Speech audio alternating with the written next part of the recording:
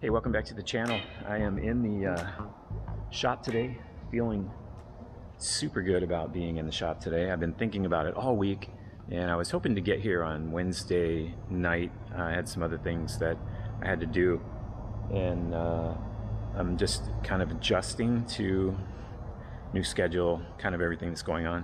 So, but anyway, here I am, and I'm really happy to be here. Uh, what I'm gonna what I'm gonna do um, today, I really want to get this radio mounted and finished up, and um, most of all, so I can investigate some of the things that you guys were concerned about.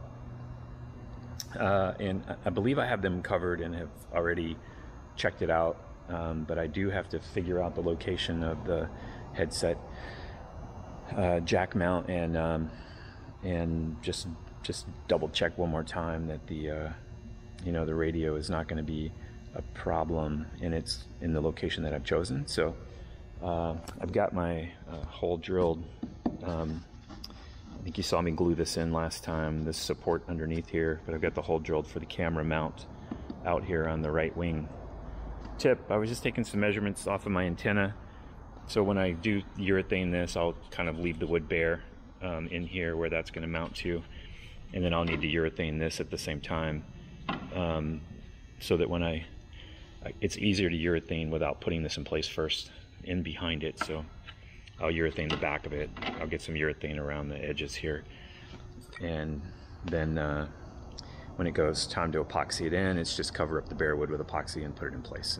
And, and uh, probably, I haven't quite figured out how I'm going to uh, clamp that, but more than likely it'll be a blue tape clamp. So, okay. Or I could just stand the wing up and that'll probably make it easier if it's in the cradle over here. I may do that. Um, but anyway, I'm going to work on the radio. I'm going to work on this. Um, I can start urethaning now um, because this is all complete. I just have to get the clamp out of here and then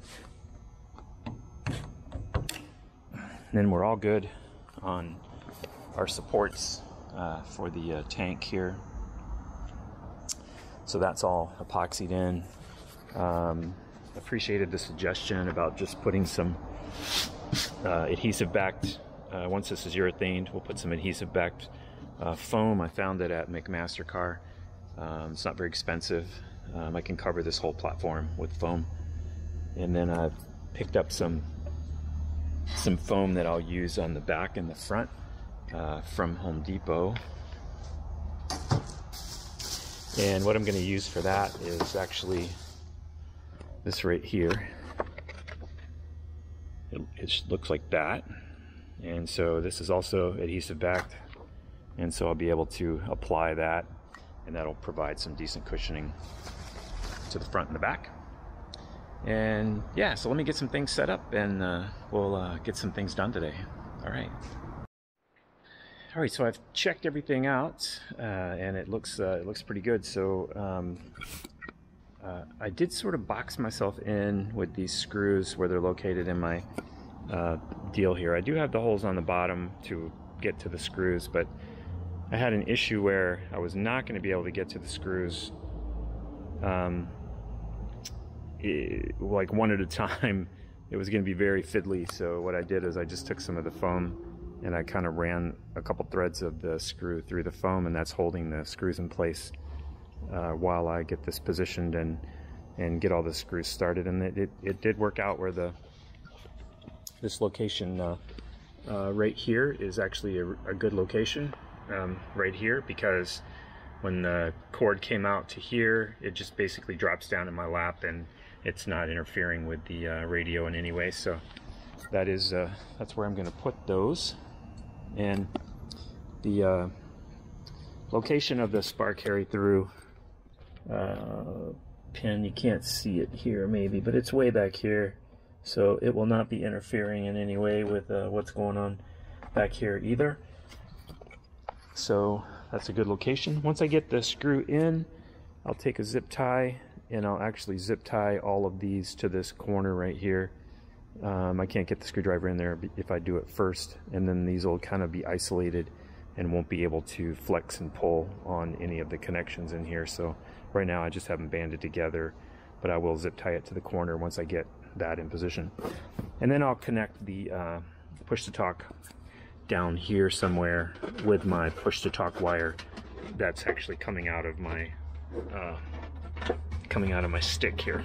So, and that'll just happen right down here somewhere. Okay, I'm gonna get this. Um, I'm gonna go ahead and get this screwed in place. Uh, and once I get that, then we can we can jump to the next thing. All right. All right. So I got uh, I got everything mounted now. Um, this in place, and the radio is now in place.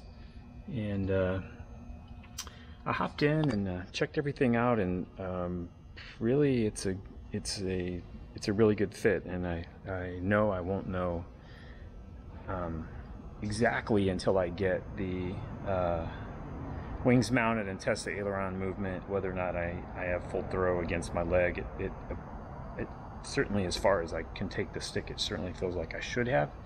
Um, but uh, we will determine that pretty soon. So, um, yeah, so I'm to hop from this at the moment and I'm going to go over and start to um, start to work on uh, urethaning the inside of the uh, of the wing here. So okay, and that's kind of boring, so I won't uh, I won't show you that, but uh, I will uh, hop back on with you after a little while and uh, see if we're going to jump to something else on my list. So, all right. All right, so I got um, I got the radio installed, uh, like you saw. I got this in, I got the radio installed, and uh, the wires are right here. You just plug right in with no trouble. Um, just nice and smooth. And uh, this is a nice, nice secure mount here. So uh, yeah, I didn't get, um, I got that done, uh, which, which feels really good to me to get that done. And then I got, uh, you know, I got some uh, urethane on here and over here. I got about two, about two bays uh, done with urethane. So uh, anyway, my time is up. I'm gonna go play golf with my wife and my son. And uh, hey, I will uh, catch you later.